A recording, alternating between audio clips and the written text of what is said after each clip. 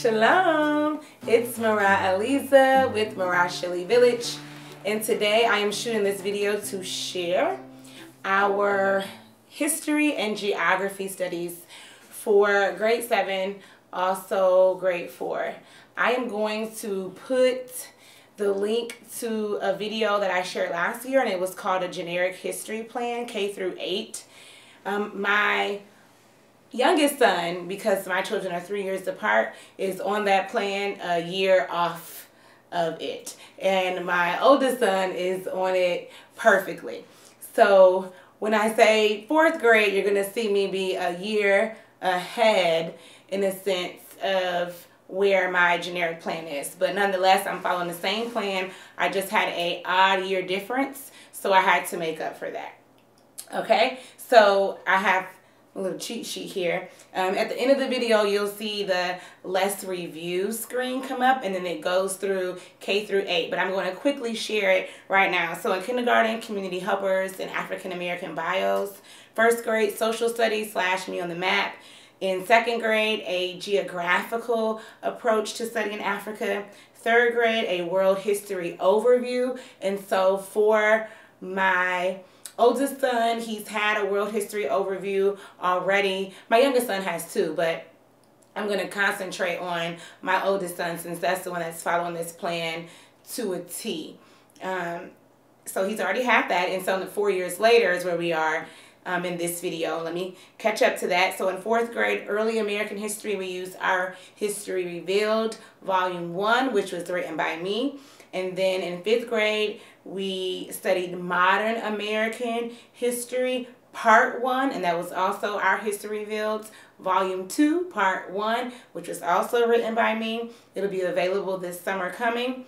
And then in grade six, we did Central America, West Indies, and South America, which we are um, just finishing up this school year. And then in seventh grade, um, in my video, I said world history and world geography, and I meant that, but I probably should have noted with an emphasis on the East, and you'll understand what I mean in this video as I go along. And then in eighth grade, Modern American History Part 2, which we're going to use, Our History Revealed, Volume 2, Part 2, which um, was also written by me and then we'll do state study alongside that in eighth grade. So that'll be the 19 um, 20 school year once we get there. But I wanted to give you a recap of my generic history plan. It doesn't have to be followed perfectly um, the way that I have it, but you just want to make sure those um, concepts and and continents and peoples. You have to go back and watch the other video. I said a lot of things are studied within that K through 8 time range. Okay, so you don't, it's okay if you want to follow that plan. You're like, oh, we haven't done this. Just get in where you fit in and it will loop back around, trust me.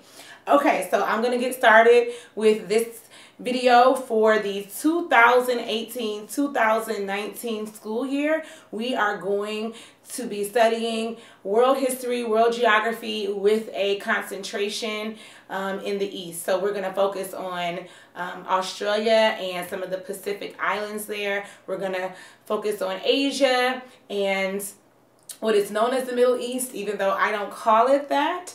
And then we are going to go into Africa and then we will conclude in Africa. So that's going to be our progression. We're going to start as far east as you can in Australia, and then we're going to work our way west westward into Asia, continue to go westward into what's called the Middle East, continue to go westward until we get into Africa, and then we are going to um, conclude our studies in Africa, and we're actually going to conclude our studies in West Africa, and I do that for a reason that I'll probably explain in next year's video. Okay, um, so the first resource that I'm going to share is Eastern Hemisphere, People, Places, and Change. This is a textbook. Um, I have like three textbooks, well really two because um, one of them is split off into two, but like two main textbooks. Um, one for my seventh grader, one for my fourth grader, and then everything else are going to be like living books or literature books or resources. I'm not a huge textbook person, but for this type of study, we are going to use um, them sparingly. Um, and the, the reason for that, I guess I have a few, but my main reason for that is for them to have a reference or a source of information all in one place where we can just grab information quickly and succinctly. And then we have other resources in Living Books as we expound on certain nations because I'm not going to, um, this is not a continental study. We've already done something like that before in grade three um, where they kind of understood all seven continents um, in an at-large way. This is going to be specifically studying certain countries on a particular continent, in this case these three continents that I want to um, teach on for this course. So for example, when we get to Africa, I know specifically we're going to study Ethiopia, but we won't study all the other nations. So I just want them to get um, like a succinct understanding of some of the other things that happen, like maybe all of North Africa at one time, since we're only going to um, study one nation in particularly for like a concentrated study. So that's why I'm using the textbook for this particular course. So now let me show show it to you. Eastern Hemisphere, people, places, changes. Um, you can get this textbook exists by Holt. So this textbook um, exists for different state editions. So I have the edition for my state because I bought my book in my state and so that's what was available to me. But you can also go um, on Amazon and then get whatever state you want, get your own or just get a generic one. But this one is like meeting what most of um, the standards of what most of the topics they would cover in like school here. That's what that's doing. So that's what it means when it says like the state edition. So I have that mostly for my seventh grader. So I want to um, go through the table of contents really, really, really quickly um, because because it's set in the East, we'll use most of this. So I didn't want a world history um, text because then I was going to have to weed out all the other continents and nations that I didn't want. So in this one, uh, let's see, this one starts with Asia, we won't. But to just give you an idea, the history of Asia, and then it goes into um, like the history, the culture, and then the geography. So that tends to be the trend in this book. And so that's what happened. Um, it gives the continents in the different regions. So I have Central Asia, South Asia, East Asia. And Africa, I have North Africa, West Africa, East Africa, Central Africa, excuse me, South, Southern Africa. And then in the Pacific, it pretty much just has Australia and New Zealand and then those Pacific islands. That's how it's broken up in case you're interested in that one. Okay, and then for my fourth grader, I use Prentice Hall because they have smaller textbooks and they split them across two. And just with him um, being the age that he is, that will be more user friendly for us. So both of these world explorers, one is Asia and the Pacific, the other is Africa, will be what we use. And so the Asia and the Pacific one is going to take care of um, Australia, as well as Asia, as well as the Middle East. And then Africa is going to take care of Africa and all of the regions within. So I hope that makes sense. So together, combined, grade four. And then this one alone, grade seven. And it's not that we won't borrow information from each other out of there, but I plan on the work that I assign, and the reading that I assign, activities that may be inside this book that I assign will be coming out of this book for my fourth grader and out of this one for my seventh grader. Okay, so that's like the crux of the what we're going to be using. And then I have some supplement. So we are going to use Steck-Vaughn World Geography and You, Book 2. Make sure you get Book 2 because Book 1 is U.S., Canada, and Europe. Book two is um, Asia, Africa, Middle East. So we're going to use this. I haven't decided exactly how. Well, I have a working idea, um, but I don't know exactly how. Um, but I, I do plan on probably, I'm either going to buy another one so they both have one or I'll just photocopy um, the pages here so that they can fill them out as we go, especially for certain things. Like we're not going to do a major continental study. I'm sorry, a major country study on Jordan, but I wouldn't mind them reading this quick bio about looks like a leader.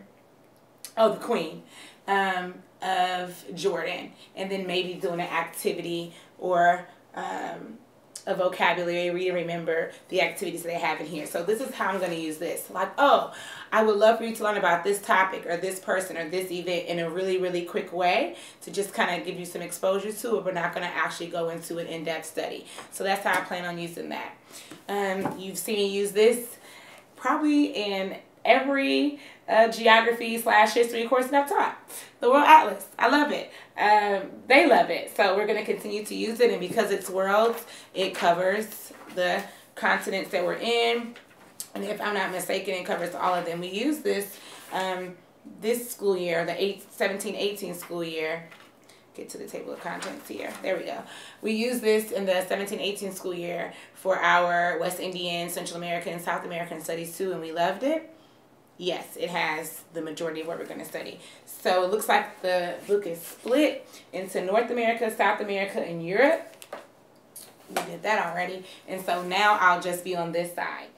With the Middle East, depending on which resource you're using, some of the nations will fall under Africa, some of the nations will fall under Asia, because Middle East really isn't a continent. So when you have a country that is in the Middle East, and it's like presented in this way, you have to force it into a particular um, continent. So what I like to suggest is look at a map, go through the Middle Eastern countries and decide where you want to place it. Are you going to deem it an African country or are you going to deem it an Asian country? I like to just call that whole mass Arabia. And um, explain to them why. But I still, for the sake of a continent, I still would put the countries in a particular um, continent so it's just easier for them to retain that way. Okay, when we get to Africa, I'm just going to recycle this resource. We've used it for um, several history classes that I've taught, but we're going to revisit it again, Classical Africa, when we get there. Um, I picked this up in a local used bookstore. It's called One Classroom Many Cultures, Bridging the Gap. I didn't know that it was going to be that awesome, but it was like two bucks, so I figured I would just um, grab it and see, and I love it. I don't know where you could find it. I haven't tried to look for it, but um, I really love the quick information. Like, let me show you, for example. No, I don't want to do Egypt. Let's see. Let me find India. I really liked India. So this is something we can open up to this page. And we get location, the people, we get a map. Let's see, what else do we have? We get the government, the lands, and the flag all in one place. And then we get history, like big pockets of history in good paragraph form. So the Indus Valley, civilization, Greek invasion, ancient dynasties, Middle Eastern and European invasions, um, and independence. And there's also food, sports, art, and literature, music and dance, Indian celebrations and their holidays, um, and then a timeline. So for me, this is great. And I wish I had one for each nation I was going to teach on, but I don't. This one has Australia, India, Egypt, Mexico, Japan, and Ireland. So I won't need Ireland, and I already used Mexico. So I'll just be using Australia, India, Egypt, and Japan for this one, but I like it. So we're using it. Um, then I have Factivity, an atlas explores the wonders of your world. So this one is of the world, so it has um, all of the continents, but of course we're going to focus on the three that I'm teaching just to give you an idea of the table of contents there. So I'm going to use this. It's like workbook-ish. It's like sometimes you read, sometimes you do things. It just depends. And I've already started um, pulling like which pages they'll do in this for the particular continent or country, depending on how the activity um, is laid out, what we're going to do. And I like how it is fitting well in the lessons that I'm building. So we'll use that. And then another supplement that we have is the Hello Atlas. Um, my kids love knowing how to say um, like different greetings and sayings in different languages. So I got this for them. We did use it in our um, Caribbean and Central and South America studies. And so I wanted to use it again when we studied the East. So let me show you what it looks like. So for example, yeah, this is a good one. It has what the people look like, and then it has the different languages, like how you say hello, and then it translates it for you. So for example, it looks like um, ehwa. So in ehwa, how do I say, no, I'm sorry. I say ehwa, that is hello. And then how are you? Ma'uha. I'm guessing, I'm not sure. Um, but this is the Paez language. And then it tells you where they speak it at and all that type of stuff. Um, the globe here, no, the map here, excuse me, helps. So it tells me where I can find certain pages, um, where I can find the language, I'm sorry, and the pages that match up to it. So for example, where we are in, let's say, Africa, I can go to pages 50 through 59 and find different African languages. So I see that this language is spoken, I won't try to pronounce anymore. This language is spoken in Somalia. This language is Berber, I know that one. Um, what else is here? Yoruba, okay, or Afrikaans, different language, uh, French. The guy's name is Pierre, he speaks French. So these are all the languages that are spoken in Africa, or the major ones, I should say. And so I'll be using the Hello Atlas for that.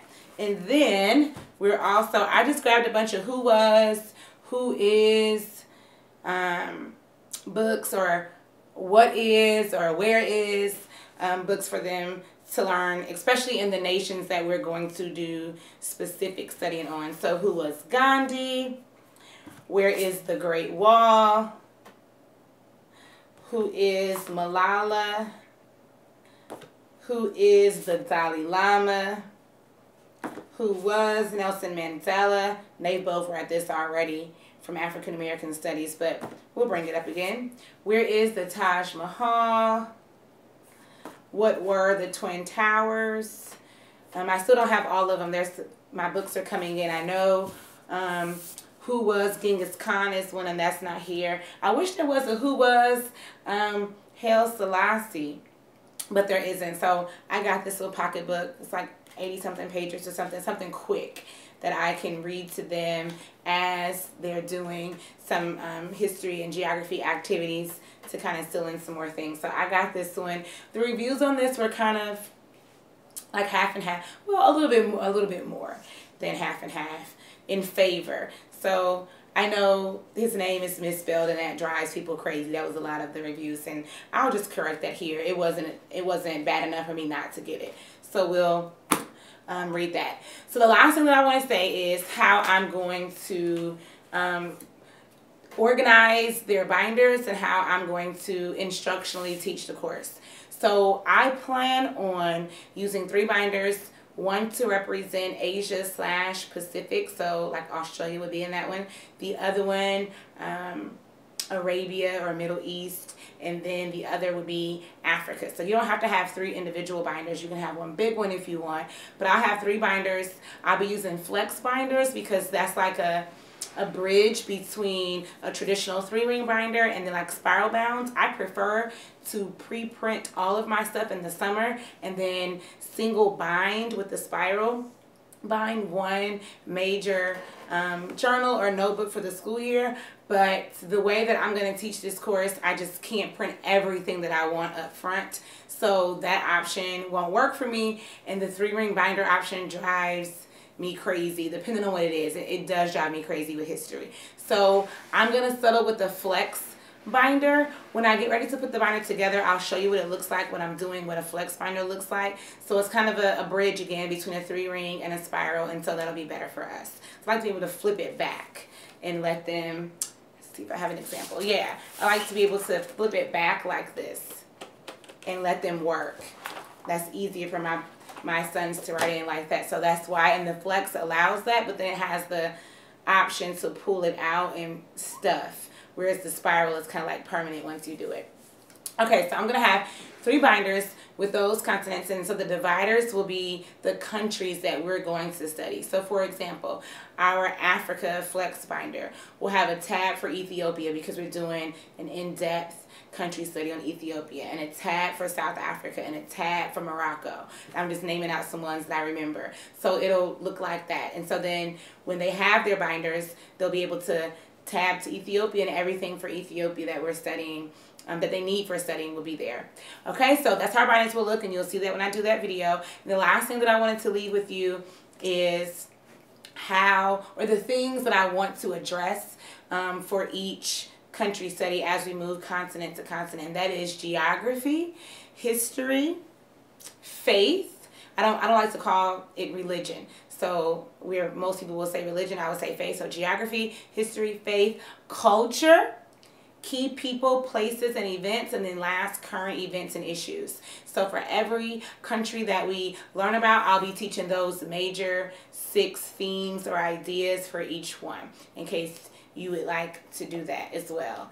Um, once I have everything printed and ready to go, again, it won't be a permanent um, bind so it'll be things that I add to it and maybe I'll do videos throughout the school year so you can see the progression of it growing as we study a particular um, country maybe I'll do that I'm not sure yet not gonna commit but I will share like the first our binder the first few weeks that are in there. I can tell you, I know we're going to start with Australia. So when I do share, that will already be loaded and put together in there. Okay, so this is what we're studying um, for history and geography for the 18-19 school year, covering um, grades 7 and 4. And actually what you see me do, it will work for grades 4 through 8. So if you have a student in any one of those grades or in all of those grades, and you want to kind of um, piggyback off of me, you'll be able to do that.